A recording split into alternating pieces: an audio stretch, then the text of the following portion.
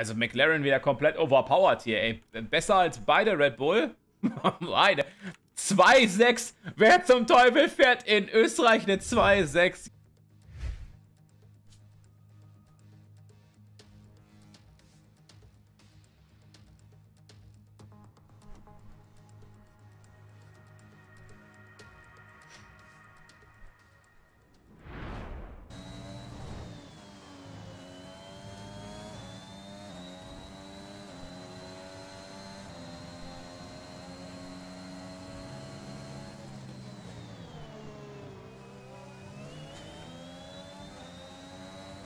Erste Kurve im fünften Gang nehmen?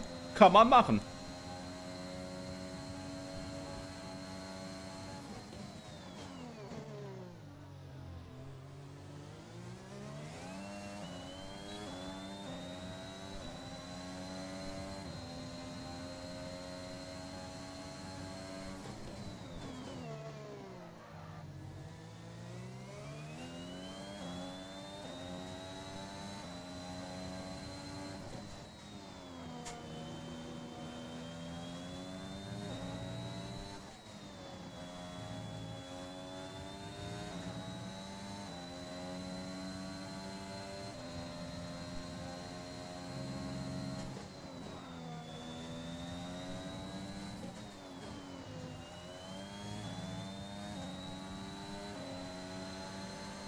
Vier, acht.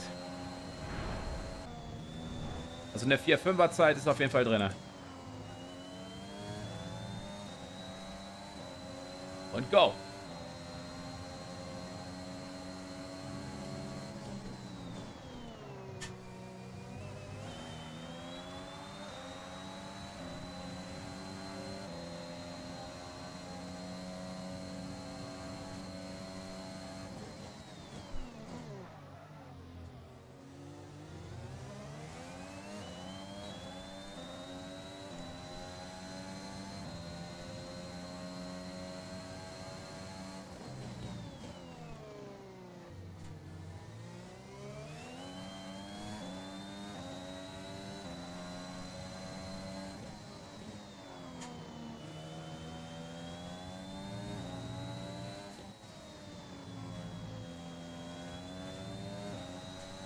Nee, die Zeit wird leider nichts. Aber dennoch bin ich interessiert, was es gewesen wäre.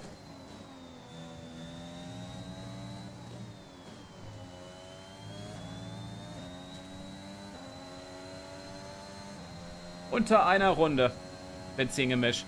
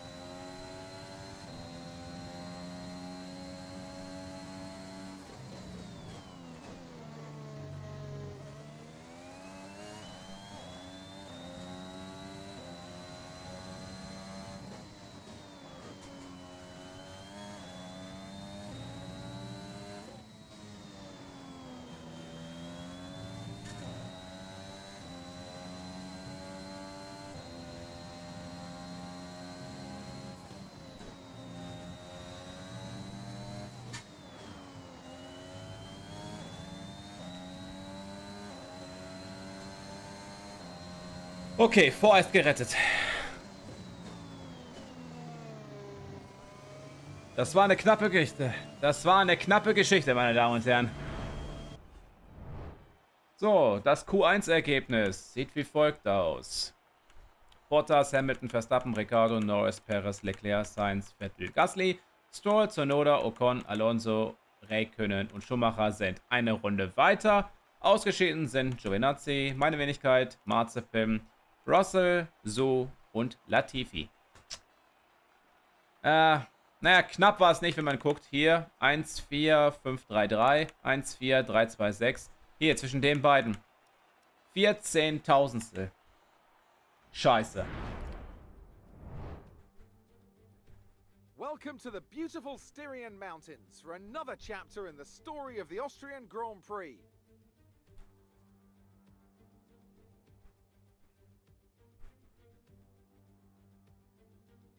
It's one of the shortest laps on the calendar today then with 7 rights and just 3 lefts, making up the 10 corners of this high-speed circuit. Turn 2 is barely a corner at all. They'll be flat out through there, a left-hand kink into the uphill braking zone of turn 3. Turns 1, 3 and 4 are all potential opportunities to overtake. Anthony Davidson joins me once again in the commentary box, and it's fantastic to have you with us here today. But I'm curious, as a man with experience out on the track, how do you stop those pre-race nerves from becoming overwhelming when you're lining up on the grid? From the moment qualifying's over, you start to feel the adrenaline in your body build up and the buzz in your stomach as you anticipate the run down into turn one. It's all a bit like going into battle, and the unknown situation makes you nervous. Those pre race nerves are a good thing. The day you don't have them means that you don't care anymore. And of course, you have to make sure that all the procedures are second nature to you so that they're not taking up too much of your capacity. Before we begin, let's take a quick look at the grid lineup for today's race. An immense lap from Lewis Hamilton yesterday puts him on pole position, and Valtteri Bottas will line up alongside. Moving on to the rest of the grid, we have Norris, Verstappen, Daniel Ricciardo, and Perez, Leclerc, Sainz, Vettel, and Lance Stroll, Gasly, Sonoda, Esteban Ocon, and Fernando Alonso. Raikkonen, Mick Schumacher, Joker, and Nikita Mazepin. Russell, Joe, Latifi, and Antonio Giovinazzi starts from the back of the grid. That's it then, it's time to go racing as we head to trackside for today's race.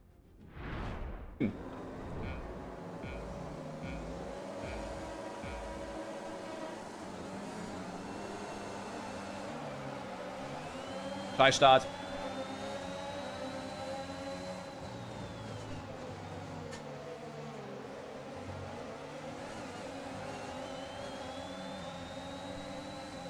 Der Start war zum Kotzen. Ich habe die falsche Taste gedrückt.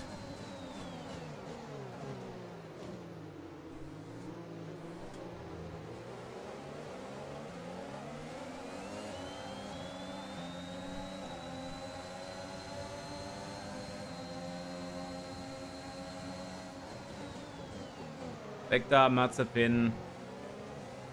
Danke. So, Startposition habe ich wieder.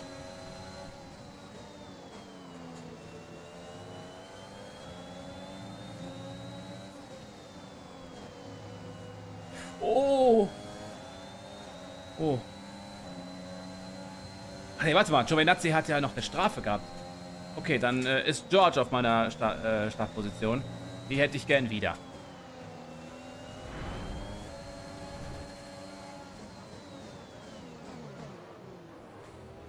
Oh, ich hatte schon böses Erwachen. Wie gegen Raykönen.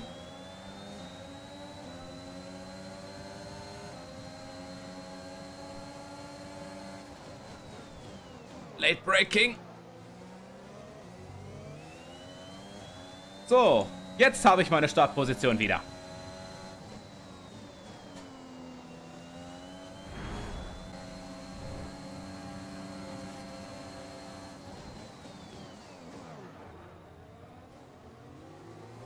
Oh, Ocon hat sich gedreht.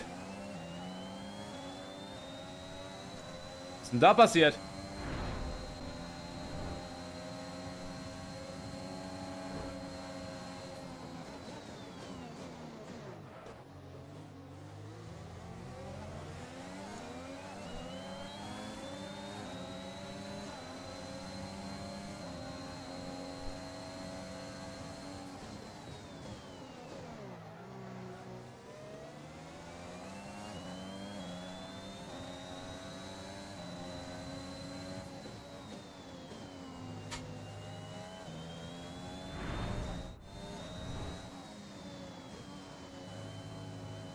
Alter, was ist denn das für ein Körper hier, ey, Alter? Nee.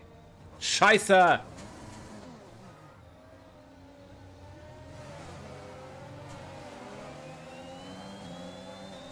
Ich darf den... Ich darf diesen verdammten Körper nicht berühren. Scheiße!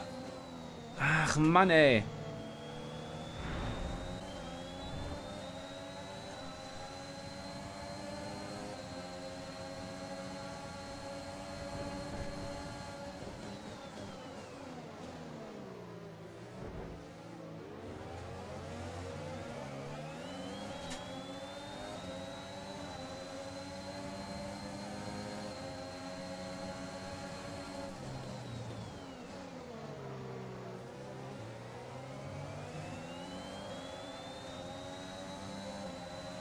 Verdammt.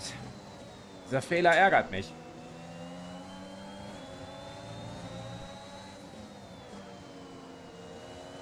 Also, liebe Community, haltet euch am besten von dem Körb fern.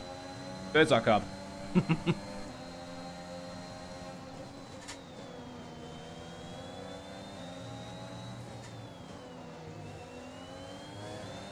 Meine Güte, was ist denn das, Alter? Scheiße!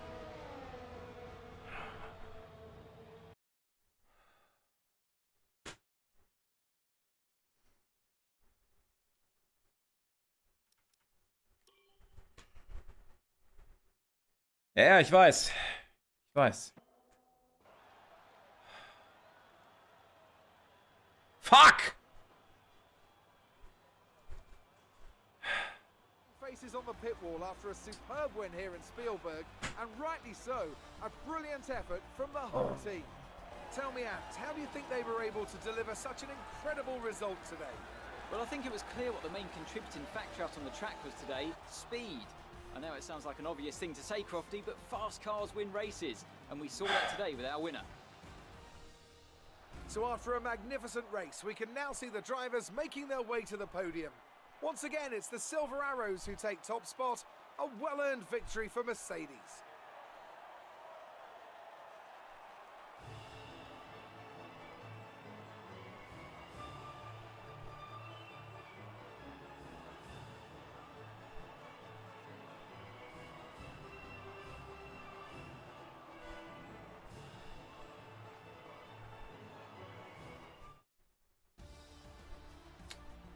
Boah, wie mich sowas ärgert, Alter.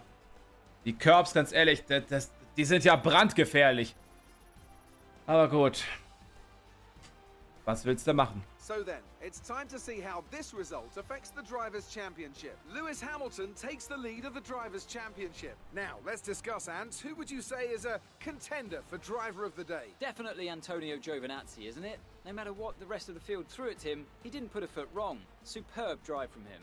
It's time to check out the constructors' standings. It was a tough race for our championship leaders who lose ground at the top of the table. Meanwhile, Ferrari have improved their position. A strong weekend from them as they fight their way towards the top. After an event like that, who knows what the sport has in store for us next time? Be sure to join us again as we continue to bring you the latest excitement in Formula One. Boah, die labern ohne Punkt und Komma. Die ganze Zeit. Ja, Nils, gebe ich dir recht. Die, extre die sind echt zu extrem. So, liebe Freunde auf YouTube. Ja, was soll ich sagen? Ein Österreich Grand Prix zum Vergessen. Ja, so könnte man das Ganze beschreiben. Aber egal. Gehen wir mal den ganzen Grand Prix durch. Hamilton, vor Verstappen und Ricardo. Norris, Perez, Leclerc, Vettel, Sainz, Stroll, Zunoda. Alonso, Räikkönen, Ocon, Giovinazzi, Schumacher, Russell, Mazepin, So, Ausgeschieden. Nee, Quatsch. Latifi. Ausgeschieden sind Gasly, Bottas und meine Wenigkeit. Was ist denn mit Bottas passiert? Ereignisse. Alonso hat eine Verwarnung bekommen, weil er sein Teammate mit, mit seinem Teammate äh, kollidiert ist. Aha, okay. Ja, liebe Leute, wenn euch das Ganze gefallen hat, Daumen nach oben. Wenn ihr noch mehr solcher Karrierevideos äh, sehen wollt, egal ob allein in der MyTeam-Karriere oder mit Hunzel oder was auch immer, gerne auch ein Abo raushauen, würde mich sehr freuen. In diesem Sinne, bis zum nächsten Video, bis dann und ciao.